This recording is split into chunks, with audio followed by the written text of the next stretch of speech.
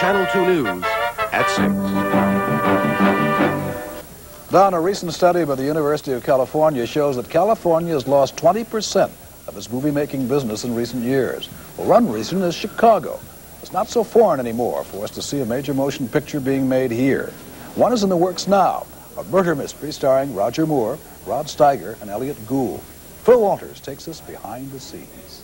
Solid blade on the right side. Okay. Okay. Double net on this side here. Cut the post. Okay. Solid blade on the left. Lights. You're going to have to push it, huh? 60. camera, but it will be hours before there is action.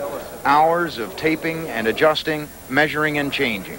Oh, you're taking care of the plaque at the police station that they pulled off the wall? These are the Chicagoans who make Hollywood's movies here. Gaffers and grips, mixers and script supervisors. And because of them, Chicago is making millions. How much money will this uh, production drop on you guys? On the technicians, well, I've been zooming the city of Chicago, generally speaking, with hotels and everything else, it'll probably be around $3 million dropped. And on the set, you begin to understand how so many millions get spent. Filming takes forever. Eventually, actor Roger Moore will walk across the lobby, ask why the regular doorman Charlie is missing, and walk out. That's it. Chicagoan Aaron Holden, the props man, hands Moore his glasses.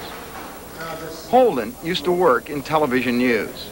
You glad you made the switch? Definitely. Do you miss news? Not at all. They pay well.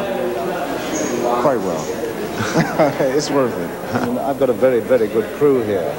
One of the most pleasant crews I've ever worked with. I don't know if it's in the door or in the thing. There are three run-throughs, rehearsals, and finally, finally, the shooting begins.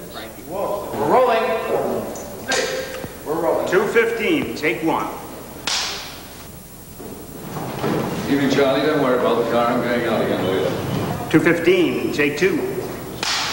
Well, don't worry about the car, Charlie. I'll be going out again later. Don't worry about the car. I'm going out later. What's happened to Charlie? He's on vacation, Doctor.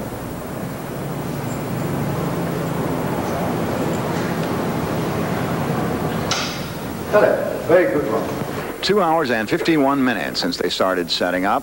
A few seconds of film in the can, and they break down and move on to shoot the next few seconds. All of this means far more than just money, of course. It gives the world a new look at Chicago. Fitting since the image of Chicago around the world was established by the movies. Gangster movies. My father said to me before I came, he said, be careful, son, you know what they do in Chicago. he still thinks of Valentine Day's massacre, you know. You're not a good guy in this movie. No, not at all. You try to kill Roger Moore. Yes, definitely. I blow away a Snoopy doll, too. With what? With this gun. Where is that This gun? gun right over here.